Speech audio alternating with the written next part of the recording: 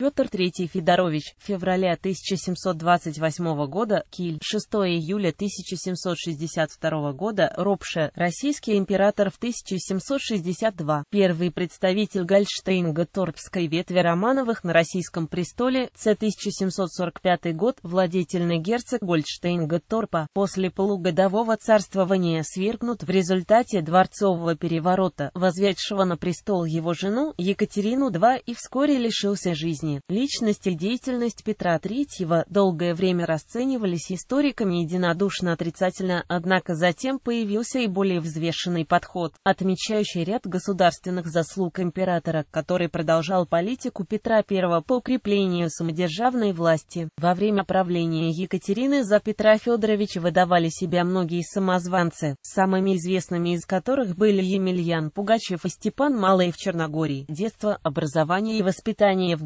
Галштинском герцогстве. Будущий император Петр III родился в северо-немецком портовом городе Киеве. В Галштине он родился между 12 и 1 час 10 февраля 1728 года. Здоровым и крепким, его было решено назвать Карл Питер, писал Гольштейн-Готторпский министр Г.Ф. Басевич. Судьба новорожденного была предопределена за несколько лет до его появления на свет. В брачном договоре, заключенном еще при Петре I в 1724 году, оба супруга отказывались от каких-либо притязаний на российский престол, но царь оставлял за собой право назначить своим преемником одного из урожденных божеским благословением из всего супружества принца. Кроме того, Карл Фридрих Гольдштейн-Готторпский, будучи племянником шведского короля Карла XII, имел право и на престол Швеции. Сама жизнь будущего Петра III делится на два периода – Кильский и Петербургский, последний, в свою очередь, на два еще более неравных отрезка.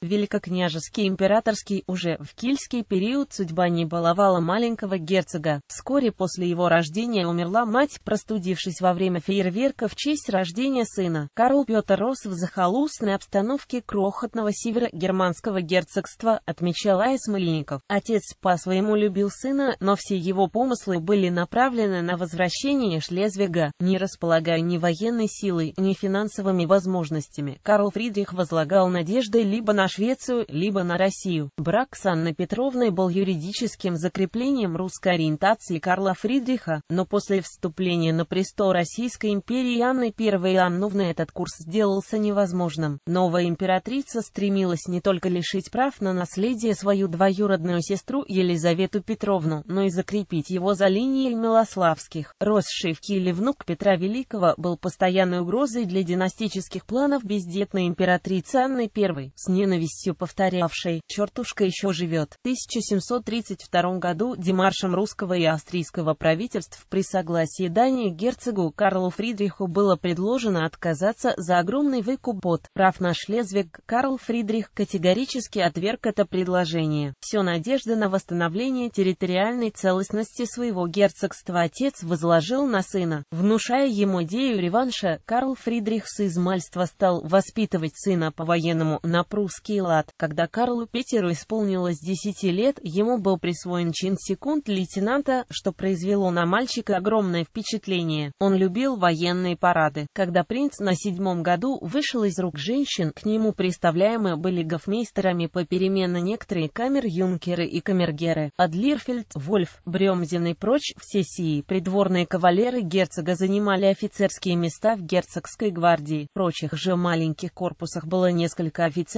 служивших некогда в прусской армии, поэтому при дворе только и говорили, что о службе. Сам наследный принц был назван унтер-офицером, учился ружью и маршировке, ходил на дежурство с другими придворными молодыми людьми и говорил с ними только о внешних формах этой военщины. От этого он с малолетства так к этому пристрастился, что ни о чем другом не хотелось слышать. Когда производился маленький парад перед окнами его комнаты, тогда он оставлял книги и перья и бросался к окну, от которого нельзя было его оторвать, пока продолжался парад. И потому иногда, в наказании за его дурное поведение, закрывали нижнюю половину его окон, оставляя свет только сверху, чтоб его королевское высочество не имело удовольствия смотреть на горсть галштинских солдат. Об этом часто рассказывал мне принц, как о жестоком обхождении с ним его начальников, также и о том, что он часто по получису стоял на коленях на горохе, отчего коленки краснели и распухали, писал Яков Якоб Штелин. Это случалось большей частью во время опеки, после смерти отца его, под надзором обергов-мейстера или обергов-маршала Брюмера и оберкамергера Бергольца, которым поручено было воспитание принца. Он приходил в восторг, когда рассказывал о своей службе и хвалился ее строгостью. Замечательнейший день его жизни был для него тот 1738 год, который на девятом году своего возраста он был произведен из унтер-офицеров в секунд-лейтенанты. Тогда при дворе с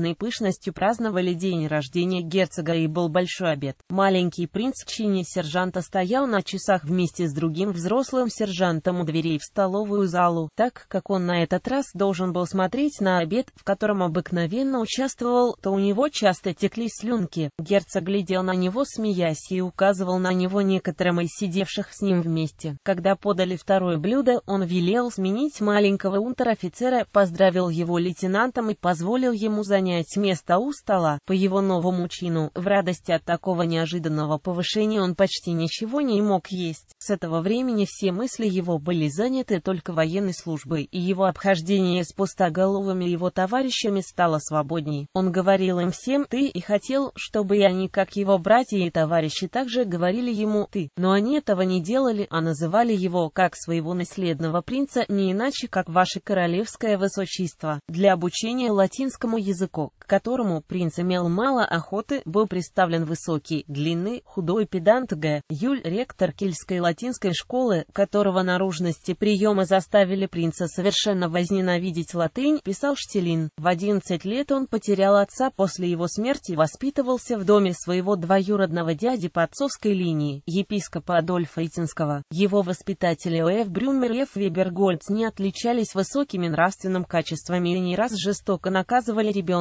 Наследного принца шведской короны неоднократно секли, подвергали другим изощренным и унизительным наказаниям. Воспитатели мало заботились о его образовании, к 13 годам он лишь немного владел французским языком. Петр рос боязливым, нервным, впечатлительным, любил музыку и живопись и одновременно обожал все военное. Именно с воинскими утехами были связаны все его чистолюбивые мечты, крепким здоровьем не отличался, скорее наоборот, был болезненным и хилем. По характеру Петр не был злым, часто вел себя простодушно, Ключевский отмечал также склонность Петра к лжи и нелепым фантазиям. По некоторым сведениям, уже в детстве он пристрастился к вину. Ставшая в 1741 году императрицей Елизавета Петровна хотела закрепить трон по линии своего отца и распорядилась привести племянника в Россию. 1741 год в декабре, вскоре по восшествии на престол императрицы Елисаветы, был прислан ей в Килимп. Рос майор фон Корф и с ним Г. фон Корф, импер, российский посланник при датском дворе, чтобы взять молодого герцога в Россию, писал Штелин. Поездка в Россию, Штелин писал, спустя три дня по отъезде герцога узнали об этом в Киле, он путешествовал инкогнито, под именем молодого графа Дюкера, при нем были вышеупомянутый майор Г. фон Корф, Галштинский обергов маршал фон Брюмер, оберкамергер фон Берггольц и камер-интендант Густав Крамер, лакей Румберг, егерь Бастиан. На последней станции перед Берлином они остановились и послали камер-интенданта к тамошнему российскому посланнику фон Бракелю, и стали ожидать его на почтовой станции, но в ночь накануне Бракель умер в Берлине, это ускорило их дальнейшее путешествие в Петербург. В Кюслине, в Померании, почтмейстер узнал молодого герцога, поэтому они ехали всю ночь, чтобы поскорее выехать из прусских границ.